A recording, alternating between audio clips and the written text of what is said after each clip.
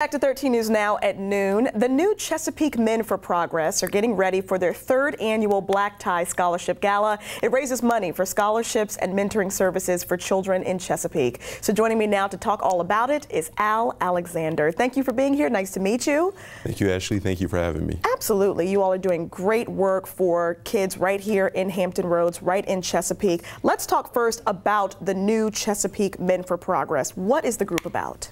Well, we started in, in 2009 as an offshoot of the new Chesapeake Men for Progress. Um, our goal is to uh, give as many scholarships and mentoring programs as possible to the students in the city of Chesapeake. And with the actual education portion of it and the giving out of scholarships, of course, uh, benefiting children in Chesapeake, but what specifications are you looking for in order to give out those scholarships? All right.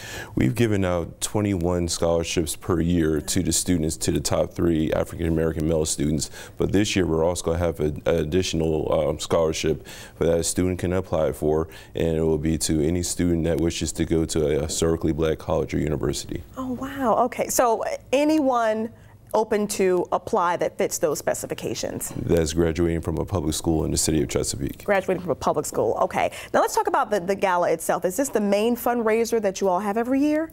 We have two um, okay. two scholarship um, galas per year. The first one will be in November, and it will be um, this November, November uh, 17th. Okay, okay, so that's coming up next Saturday, but you have one that's going to happen maybe in the spring or so as well? Yes, we have a scholarship breakfast that will take place the last Saturday in April. Okay, very nice, very nice. How can people find out more? Perhaps there are some folks that want to get involved in the organization. Can they go to a, a website, a social media page? How can they get in touch with you? Yes, we are looking for all potential members. So the website is available, the New Chesapeake Men for Progress organization, Education Foundation organization, and uh, we also meet every Saturday, um, the first Saturday of every month. So we are welcoming all members, potential and members. Awesome. And in addition, of course, to uh, people volunteering, I'm sure that there are some other needs of the organization. If people want to do donate directly, they can just go that through the website, or do they need to go a different way? Yes, there's a PayPal set up on the website, and we also do uh, mentoring that's available.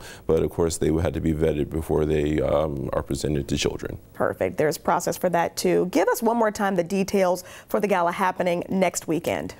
All right, the gala will be next Saturday, and we're going to. This is our third annual gala. Mm -hmm. The first one recognized our former president, uh, Dr. Ward. The third one will uh, will look at three and represent three uh, pillars of the community. One would be um, Ms., uh, Reverend Tolliver, who is the who's a pastor in the city of Chesapeake, and then Miss Eccles, who's a, a pillar with uh, music education. Okay. And then, um, and of course, those are the three people that we'll be looking uh, looking to represent and give them them uh, an award. Thank you so much, Mr. Alexander. We appreciate it. And again, all this information will be on 13newsnow.com. Thank you for being here. Thank you, Ashley. We'll be right back.